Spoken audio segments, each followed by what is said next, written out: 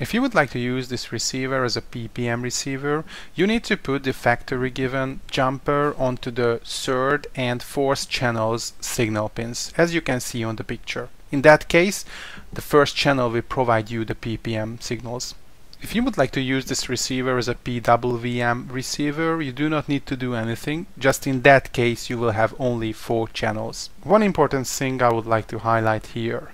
There are two official firmwares available for this receiver. One is the 18 millisec and the other is a 27 millisec version. The, most probably your receiver is delivered with the 18 millisec um, firmware version and let me highlight here that it's basically can handle 6 ppm channels so don't use more channels in that case.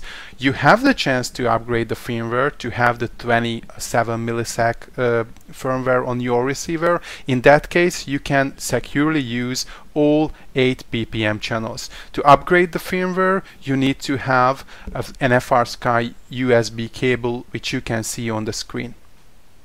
Please subscribe, feel free to share these videos, and do not forget to raise your questions or comments. Thank you for watching.